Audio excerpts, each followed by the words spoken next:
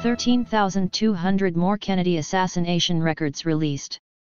Washington The National Archives is releasing more than 13,200 records some hundreds of pages long related to the assassination of President John F. Kennedy in 1963. Thursday's release of Kennedy records is the fourth so far this year. Last month, President Donald Trump directed agencies to again review each of their redactions during the next 180 days. He said agency heads needed to be extremely circumspect in recommending that information still needed to be withheld from the public. Government agencies have until March to tell the National Archives why any part of their records should still be redacted. The records included in this latest public release have not yet been re-reviewed by the agencies as part of that process.